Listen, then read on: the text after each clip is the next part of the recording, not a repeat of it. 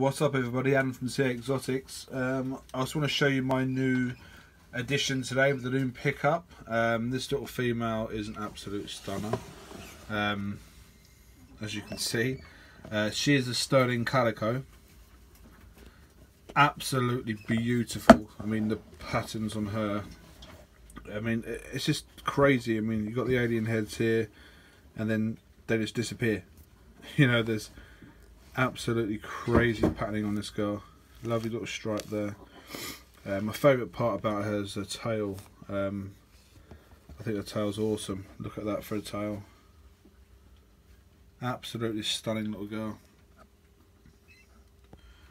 So I picked her up today, um, so I'm going to let her settle in before I attempt to feed, but she is looking absolutely gorgeous.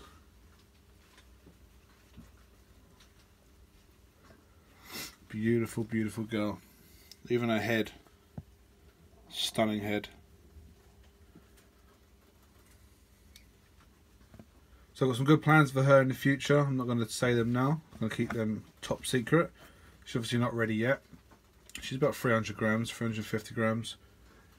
I haven't weighed her, but she's around that. But she's absolutely stunning. I had to share this with you guys because she is, oh, beautiful animal.